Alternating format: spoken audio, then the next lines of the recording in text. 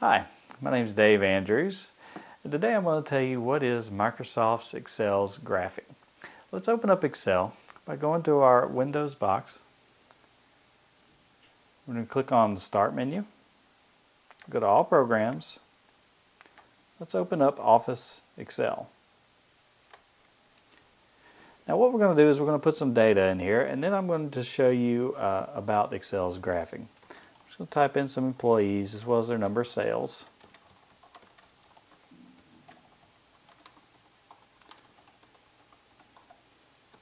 So here I have some employees and their sales kind of built in a spreadsheet kind of format. To use charts in Microsoft Excel, let's just highlight uh, our data that we'd like to make a chart out of. We go to Insert, and then we can either use this drop down to select the type of chart we want to use, or we can actually click on the icon, which uh, basically pulls down the exact same menu. So I'm going to select a column that chart that I'd like to create.